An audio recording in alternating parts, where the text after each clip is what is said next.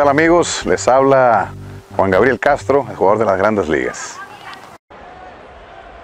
And he bounces that one toward the middle. Castro's got it, flips it with his glove. Utley has it. The throw to first in time. Oh. Take a picture of that one, folks. Oh. You're not going to see better defense. Castro, nice play, and the ball game is over. El día de hoy vamos a explicar un poco de diferentes maneras de cómo ir a agarrar una bola de backhand. Acuérdense, esta manera de backhand es una de las más difíciles como infielder para poder aprenderla o para poder mejorarla. Por eso se recomienda siempre practicarla mucho. Y bien, nos acordamos que cuando ya vamos a filiar una pelota de backhand es cuando ya no pudimos colocarnos de frente. Por eso es que la otra manera que podemos hacer es ir a filiar la pelota de backhand. Pero antes de explicarles las diferentes maneras que hay, les voy a hablar un poquito acerca de la colocación del guante. Muchas veces cuando viene la rola, yo estoy filiando un backhand, quiero colocar mi guante de una manera que tenga una caja donde pueda cargar yo la pelota, donde pueda quedarse la pelota dentro del guante. Muy importante no poner el guante de esta manera porque muchas veces la bola viene y va brincando, entonces al pegarnos aquí se sale la bola más fácil que si yo la tengo, que tengo el guante un poquito de esta manera, donde le hago una caja donde puede entrar la pelota, facilito. De otra manera no tiene caja y se me puede salir el guante, entonces acostúmbrese un poquito nomás ese movimiento de tu brazo, de tu muñeca, nomás doblen a poquito para hacer ese movimiento del backhand, para poder siempre tener la caja del guante de la manera correcta para agarrar la pelota. Entonces hay que empezar poco a poco a doblar nuestra muñeca cuando vamos a hacer el backhand para tener más posibilidades de que la pelota se quede dentro de nuestro guante.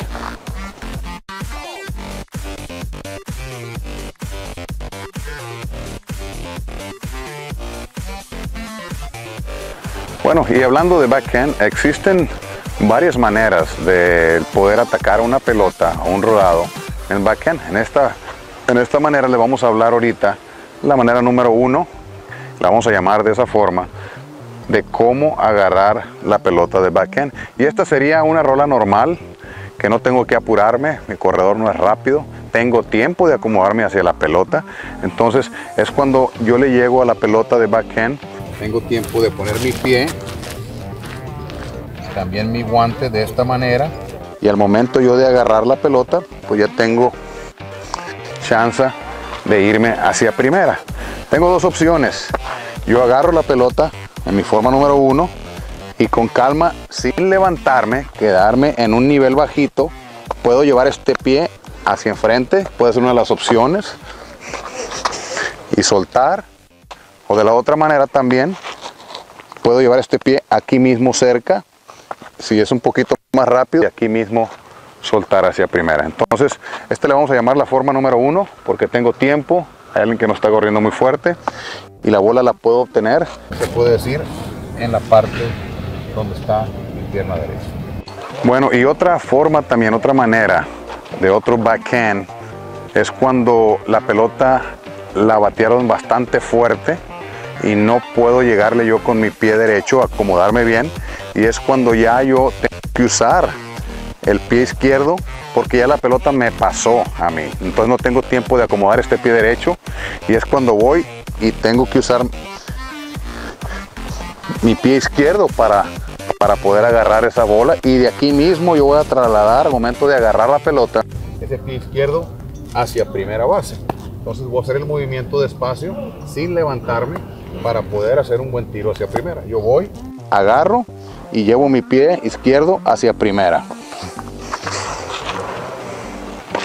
Entonces es muy importante este tipo, la forma número dos, de agarrar la bola como podamos de esta manera y trasladarnos ayudándonos con nuestro pie izquierdo hacia primera. Lo voy a hacer de nuevo, bajito, con control.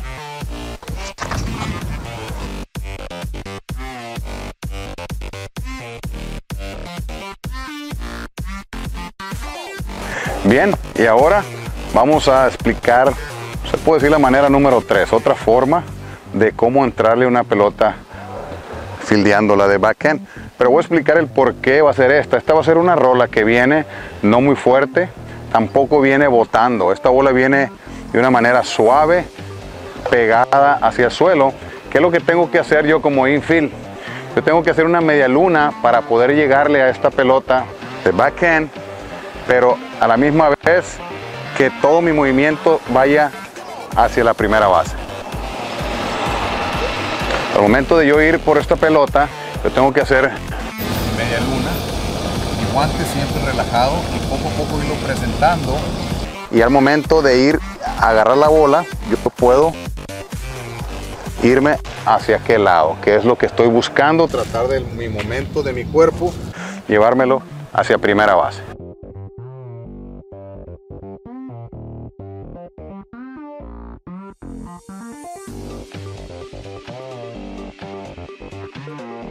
Y ahora la posición o la forma número 4 que estamos ah, explicando sobre la, la manera de fildear una rola de backhand va a ser esta rola que viene tampoco no muy fuerte, pero viene botando, es de botes altos.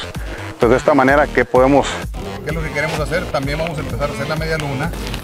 A la hora de que la pelota está botando, es muy importante de siempre estar con nuestra vista en el guante y muchas veces nos ayudamos con esta mano aquí abajo también porque no queremos no queremos al agarrar la pelota usar el guante de esta manera que se nos vaya la pelota a botar hacia abajo entonces yo vengo, hago mi media luna. La bola viene botando, entonces muchas veces uso dos manos para poder agarrar la pelota. Igual. Mi momento tiene que ir hacia primera base.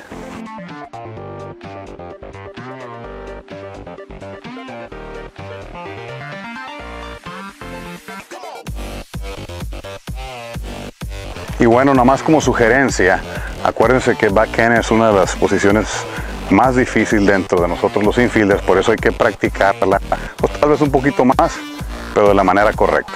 Y recuerden, cuando practicamos, no se apuren.